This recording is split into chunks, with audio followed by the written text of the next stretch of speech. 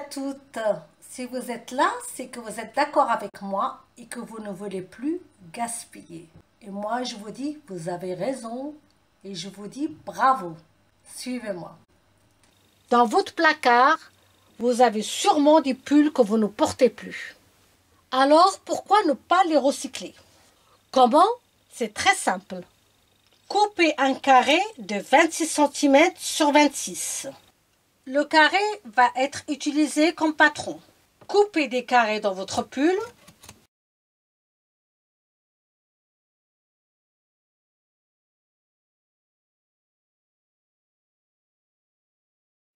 Et découpez des carrés autant que possible. N'oubliez pas les manches. Ouvrir en deux et récupérer de la matière.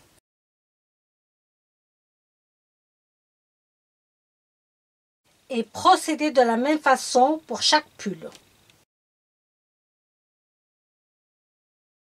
Une fois que vous avez tout coupé, pliez chaque morceau en deux et coupez. Et vous allez faire la même chose pour tout le reste. Placez vos triangles de cette façon. Celui-ci à plier en deux. Coupez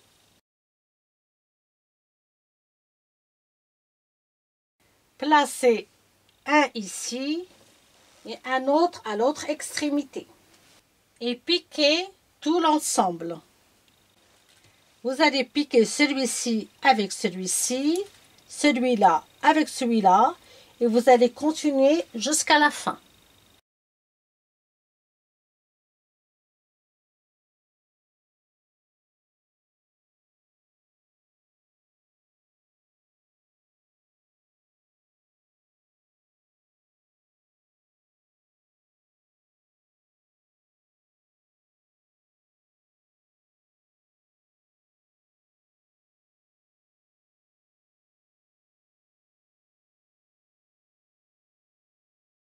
Vous avez fait votre première bande et vous allez faire la même chose avec la deuxième. En tenant compte bien sûr de poser de couleurs différentes. Et toujours au bord, la moitié du triangle. Et faites la même chose de l'autre côté. Donc vous allez piquer celui-ci avec celui-là, celui-ci avec celui-ci, et vous allez faire la même chose jusqu'au bout. Si vous avez peur de vous tromper, vous pouvez vous organiser de cette façon. Positionnez les bandes derrière votre machine. Positionnez la pièce concernée avec l'autre pièce et piquez de suite. Ainsi, vous éviterez les erreurs. Et n'oubliez pas à chaque fois un point d'arrêt début et fin.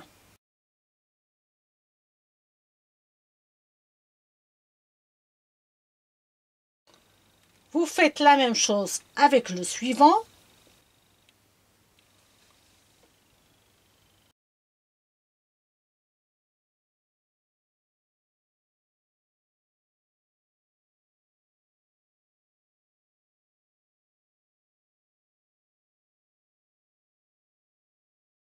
Vous avez fait la deuxième bande, posez la première sur la deuxième.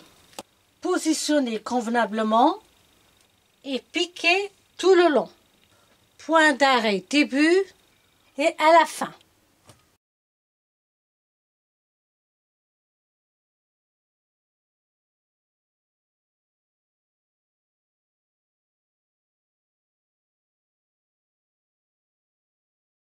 Préparez la troisième bande en tenant compte du décalage des couleurs et piquez les pièces entre elles endroit contre endroit, point d'arrêt début et point d'arrêt à la fin.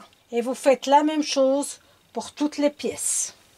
Assemblez la troisième bande sur la deuxième en mettant endroit sur endroit, en tenant compte du coin avec le coin.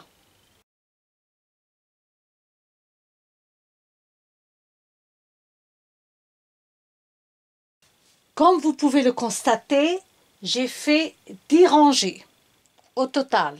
Mais rien ne vous empêche de faire plus grand ou plus petit.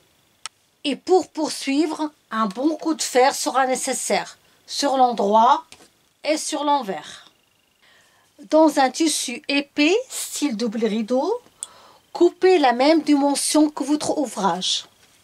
Positionnez endroit contre endroit, épinglez tout autour en laissant une ouverture de 20 cm. En piquant, mettez la partie maille sur la machine. Et n'oubliez pas les points d'arrêt, début et fin.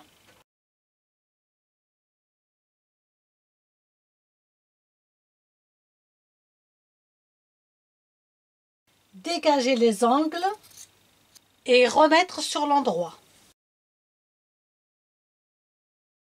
Bien ressortir les angles, épingler l'ouverture et piquer tout autour.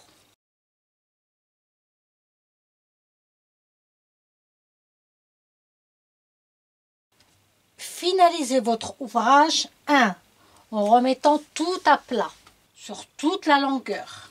2 en épinglant dans la largeur. Vous allez mettre des épingles à chaque fois sur toute la longueur de votre pièce. Et la troisième opération, surpiquer sur la largeur en faisant un point d'arrêt début et fin. Pour vous organiser, mettez en accordéon.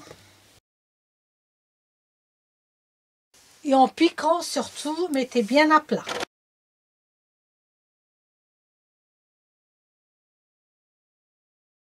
Je répète, en piquant, mettez bien à plat. Au fur et à mesure que vous avancez, vous allez bien mettre à plat votre ouvrage.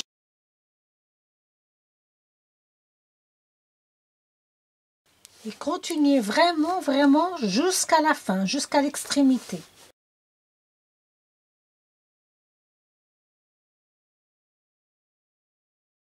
Vous finalisez par un point d'arrêt.